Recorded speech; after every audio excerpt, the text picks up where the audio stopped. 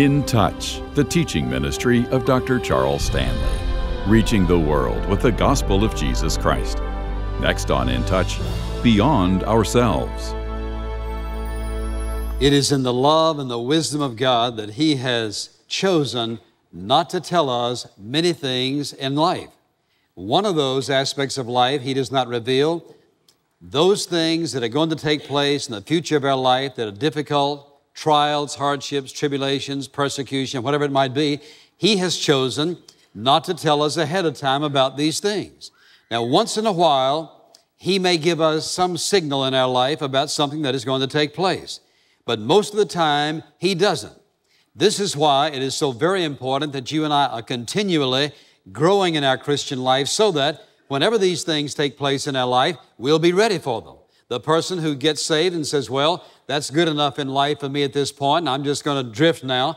What they don't realize is this there are those experiences in life that are beyond our control, beyond our strength to endure, and if we don't know the key to that endurance, we will tumble and fall sooner or later.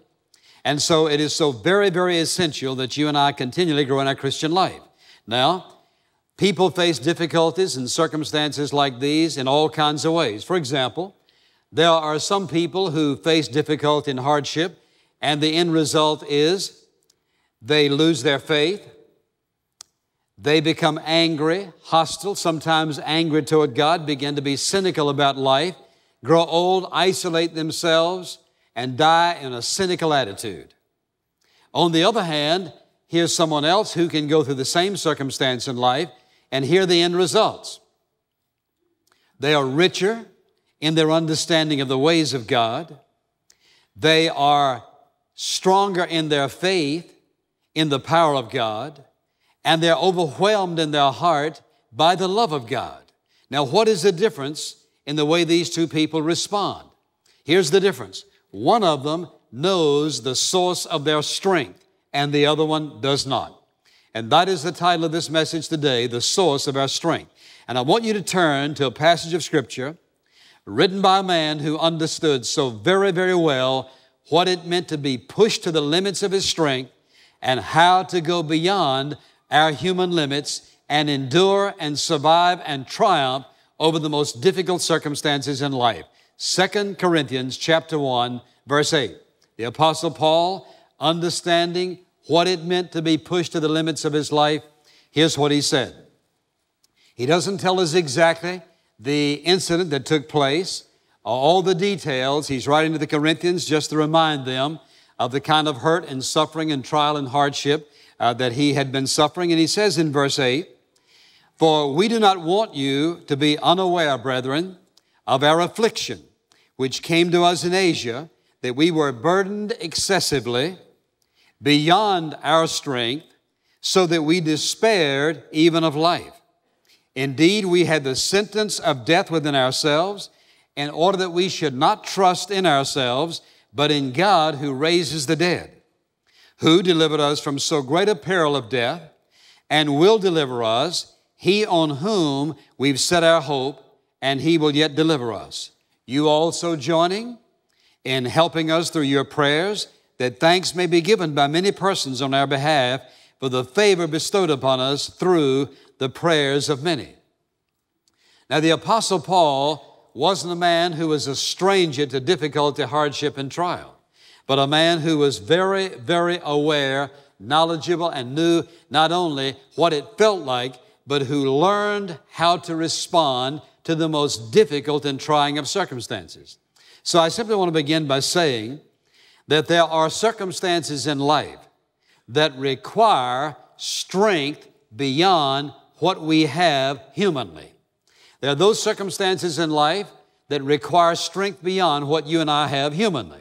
Now let's look at the Apostle Paul for a moment. And I want you to notice in this passage, though he doesn't tell us exactly when this took place or where or the a particular incident, it could have been the riot in Ephesus or some other incident. I want you to notice the words he uses to describe this because for this reason. It may be that you're one of those persons who's going through one of those trials and you say, but wait a minute. Don't tell me about the Apostle Paul. The Apostle Paul lived about 2,000 years ago and things have changed. Let me tell you what has not changed. Sin hadn't changed. The devil hasn't changed. Temptation hasn't changed. Hardships, trials, suffering, difficulty, attacks, none of that's changed. It's just a different day in which it is going on. And so the Apostle Paul knew what he was speaking of here. And all of us face those circumstances in which we feel we are pushed to the limits and we, we have to go beyond our human energy and strength, whether it is intellectual, moral, spiritual, physical, emotional, whatever it might be. So as you think about it in your own life, let's look at it this way. You may be one of those persons who says, you know, I have been so wrong and so wronged by the same person for so long, I don't have the strength. I don't have the power to keep on forgiving someone who keeps on wronging me.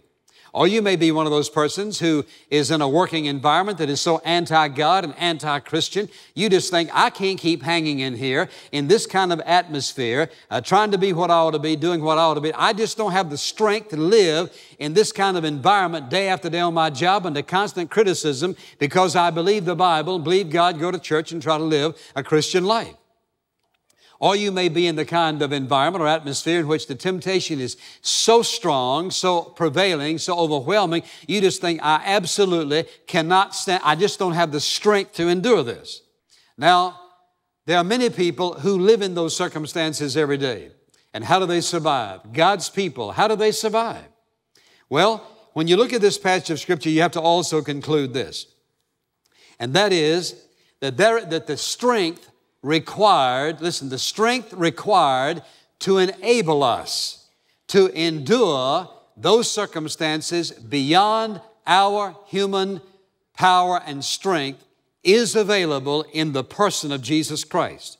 Now, I know that may be a simple or a simple, a simplified statement that the power, the energy required to enable us to face these things triumphantly and victoriously is to be found in Christ, but it is. It is to be found in Him.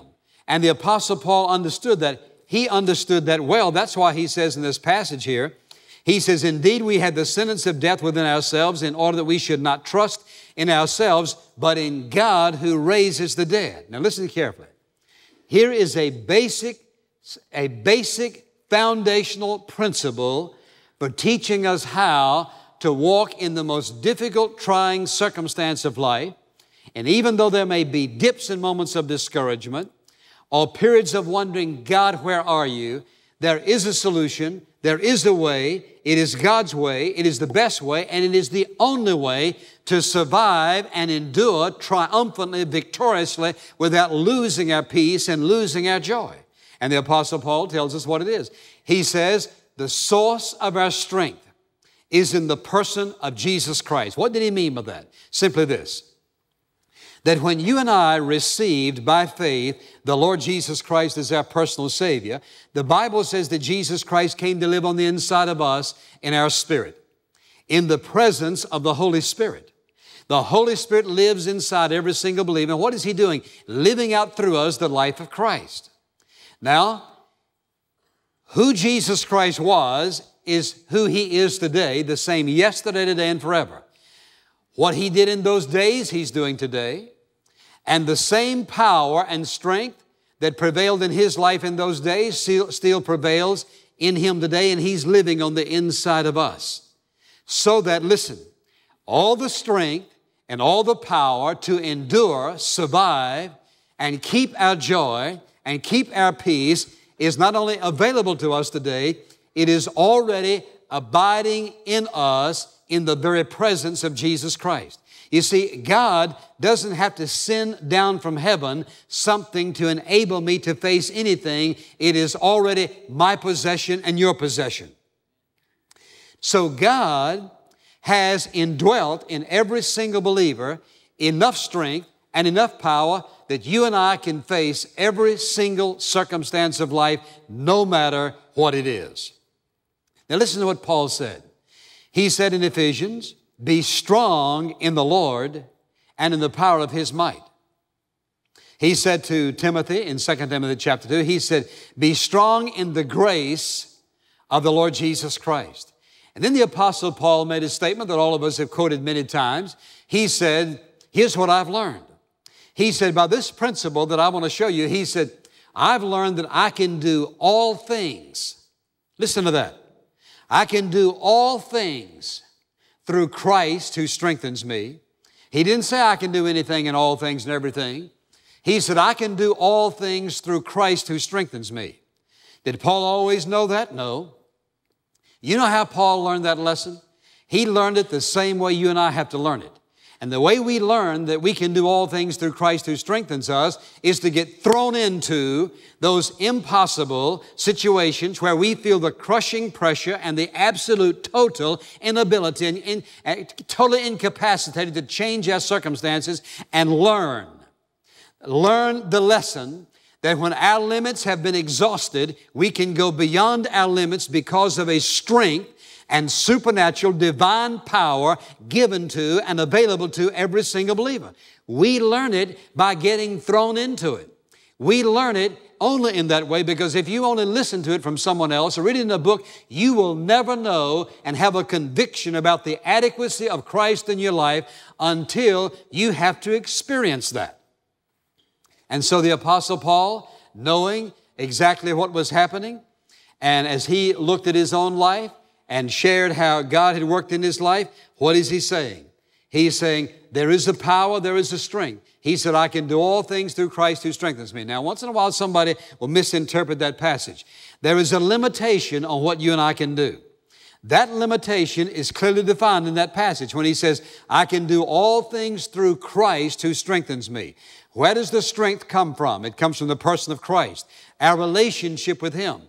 What is the limitation? Here's the limitation. God is not going to strengthen you and me to do anything that is not the will of the Father. So He's not going to empower us and strengthen us to do something it's not His will to do. And so what does He do? Whatever God calls you to do, if it's in your occupation, if He's called you to a certain occupation, and a certain type of work that may be very difficult, if He's placed you there, He is going to enable you, strengthen you, and equip you to do every single thing required of you. God will enable you to do it. Now listen carefully. That's why running out on a difficult situation is never, never, never legitimate for the child of God. It is a confession to the world that our Savior is inadequate.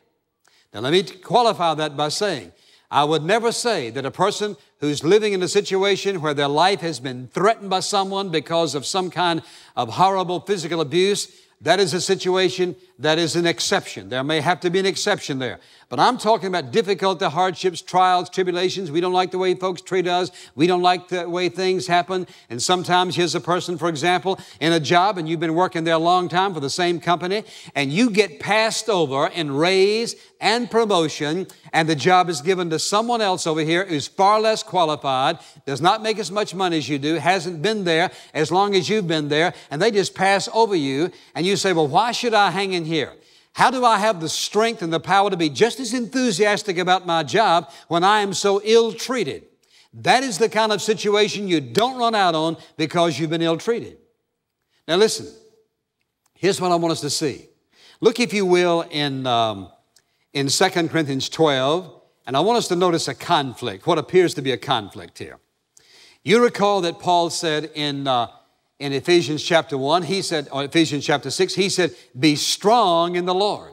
He told Timothy, Be strong in the grace of our Lord Jesus Christ. Now listen, it looks like a contradiction. On the one hand, he's saying, Be strong in the Lord. On the other hand, he says in 2 Corinthians chapter 12, look at that. He says in verse 5, On behalf of such a man, speaking of himself, will I boast, but on my, on my own behalf I will not boast, except in regard to my weaknesses. He says, You want to know what I want to boast of? He says, I boast about my weaknesses. Look in verse uh, 9. He said, He discovered that God's grace is sufficient to him. And he said again in verse 9, Most gladly, therefore, I will rather boast about my weaknesses in order that the power of Christ may dwell in me. And verse 10, he says, When I'm weak, I'm strong. Now, what kind of double talk is that? I mean, wait a minute, Paul. On the one hand, you're commanding, be strong in the Lord. On the other hand, you're saying, but I love to be weak. That doesn't even make any sense it, until you understand. Here's what Paul is saying.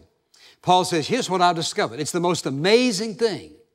He said, I have discovered that when I'm weak and I get weaker and weaker and weaker and weaker and weaker and weaker, he says, when I'm down here in my weakest moments, he says, here's what I've discovered.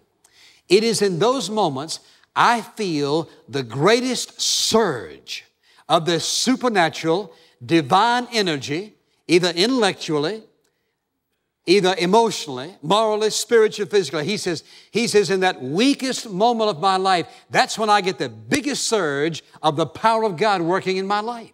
So he says, here's what I've discovered. I've discovered instead of despising weakness and feeling out of control and helpless, which none of us like. None of us like to feel out of control. No one wants to feel helpless. Nobody likes weakness. I don't like that any more than anybody else. No one likes that. But you see, here's what Paul discovered. He says, Here's what I've discovered.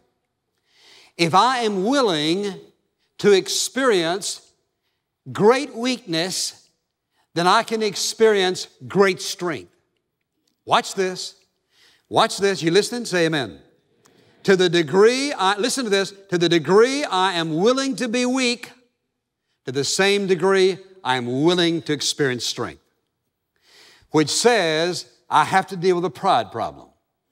Because you see, no one likes to admit, I'm weak, I'm frail. But You see, today's world says, be strong, be beautiful, be handsome, be rich, be, be, be all of these things. You know what God says? Be poor in spirit, full of weakness, humility, and the world hates that. They can't stand that. They despise weakness. You know what God says? He says, I love it. Now, I don't like it very well, to be honest, and probably you don't either, if you're honest. None of us like to feel weak, out of control, and helpless. But when you and I learn that it is in those weakest moments when we cannot, we're out of control, we can't do anything about it, that's when God is freed to do His greatest work in empowering and strengthening us. That's when we become the most equipped, the most enabled to suffer, to experience, to do it, no matter what the trial may be, we can walk through it not with a sad face, not having a pity party, not complaining and moaning and groaning, though sometimes we're tempted to do that. But he says, no matter what's going on, there is a power and strength available to the children of God. Now, if someone else had said that in the scripture somewhere along the way that I didn't make a big, strong impression on us, maybe we could say, well, you know, this, that, and the other about him, but you can't say that about the Apostle Paul. Because here's a man who experienced it now. If you think about the character and the nature of this strength that He gives. Listen, He says the strength that He gives to all of us, whatever we are facing, is unsurpassable. It is unsurpassable. One of our problems is we want, we, we somehow, we can't believe that God would love us enough or that He's interested enough in you as a student in your classroom are you on your job to be genuinely interested enough to, I mean, to focus His divine attention upon your circumstance and provide exactly what you need for that moment, this day, that day, the next day, the next week, the next month, the next year, and to keep you in that situation? We just think, well, God, why? And you see, this is the promise of God. My God shall supply what? All your need according to his riches and glory. Listen, one of the riches of the grace of God for you and me is the power and the strength to live, to face, to endure, to survive, and to do so victoriously and triumphantly. God doesn't want you and me failing in the Christian life. We all do at times. But He wants us to learn the truths, to know how to walk through difficulty. And as we said before, the only way we learn is get thrown into it. Most people just want you to give them a book, give them a passage, preach a sermon, got it, no, you haven't. Because I've discovered in my own life many truths that I learned. I thought, well, I've got that one down. And then the Lord sends me a big test along the way, and I realize, no, I don't have it down. I thought I learned it. No, what I did is I heard it, and I understood it and I believed it, but I didn't learn it. How do I learn it? By getting thrown in the fire. That's how you learn it. And you see, the people who avoid the fire and try to avoid the valley experiences, they don't want to feel weak. That's just, it's, and, and I agree, it is in total opposition to everything human nature cries out for. Human nature within us cries out to be strong. Human nature cries out uh, to be courageous. Human nature cries out to be fit, ready, capable, adequate to meet every situation in life. God says, You want to know how to do that? Tell you how. Get real weak. Be absolutely, totally helpless, dependent upon me. That's the way you experience the greatest strength. Now, he called it unsurpassable power. Look, if you will, in Ephesians chapter 1. When Paul was writing there in his prayer for the Ephesian Christians, here's what he prayed for them. Ephesians chapter 1, he says in verse 18, I pray that the eyes of your heart may be enlightened, so that you may know what is the hope of his calling, what are the riches of the glory of his inheritance in the saints. And he says, here's, my, here's another part of my prayer for you. He says, I want you to experience and to know what is the surpassing greatness of his power toward us. You know what he's saying? He says, the power that Almighty God, the strength that he makes available for his children is unsurpassable. You know what that says? That Satan cannot throw anything in your path with all of his satanic power to match, listen to this, Satan cannot throw anything in your path with all of his satanic power to match the supernatural, divine power available to the believer in the person of Jesus Christ. Satan's power can't even begin to match it. This is unsurpassing power. And secondly, it is available to every single believer. He says that is the gift of God. When you receive Jesus, you got it. And it comes in a very simple way. It comes through the introduction. It comes through the confession, the acknowledgement. And this is where I think we have to ask ourselves the question, am I, do I know how to have this power and strength released in my life when I'm facing this? And the answer is yes, and it's very simple. He didn't make it complex because He wanted us all to understand it and all to be able to experience it in our life. And here's what He says. And you've caught it already. How do I get this strength and power released in my life? Acknowledging that I'm absolutely, totally helpless. God, if you don't do it, I, it, won't, it won't work. You have to do it, Lord. I can't do it. The confession and acknowledgement of weakness and helplessness, and we don't like to do that. When's the last time you ever said to a friend, I feel so weak and so helpless and so absolutely totally out of control. There's not a thing in the world I can do in my situation, not one thing. Have you been willing to humble yourself and acknowledge that to someone? Or do you want to keep up, keep up the appearance? I can handle it. I've got it under control. That is arrogance and pride, and it, there is no blessing that comes through that. It is the, listen, Paul said, I'm weak. He said, when I came to you to preach, I came to you to preach in weakness and fear and trembling. Have you been willing to say to someone, I feel so weak and so inadequate? You see, listen to me carefully now. You can tell God that in private, but act strong in public, and I don't think it works. I think you have to say to someone, there was, I think that there is, there is a requirement of, of a humbling of ourselves to say, I am inadequate. I am weak. And God, I can't.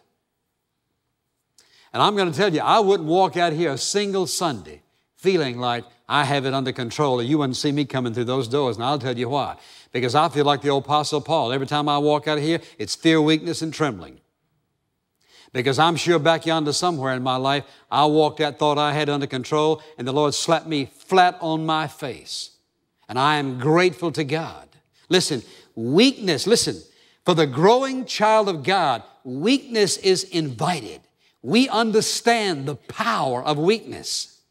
We understand the power of humility. I don't mean some fake humbleness. I'm talking about genuinely relying upon Him. The acknowledgement of our weakness. And just saying to Him, God, I'm relying upon you. I cannot, you, if you don't do it, it's not going to happen. And thirdly, simply believing that He'll do what He said. He says, My God shall supply all you need according to his riches and glory. When? When I need it. How long? Ever how long I need it. How much? Ever how much I need. Anything that God does less than that, or off timing, or out of, out of uh, step with my needs, that's not God. Now, I don't know about you, but I'm telling you, I've tried it both ways, and the first way doesn't work. You can't do it in your own strength and survive. And there's a better way. If you want to become richer in the understanding of the ways of God, if you want to become stronger in your, in your faith in the power of God, and if you want to become overwhelmed in experiencing the love of God, the way to do it is to acknowledge your weakness and helplessness, throw yourself upon God, rest in Him, and trust Him to be in you and through you everything you need at this moment in your life. And my friend, no matter what your circumstance, this I can absolutely assure you of. Jesus Christ, the Son of God, who is your Savior, if you have trusted Him as your personal Savior, who dwells on the inside of you, will release all the power and the strength necessary to enable you to face what you're facing victoriously, triumphantly, with great joy through it all.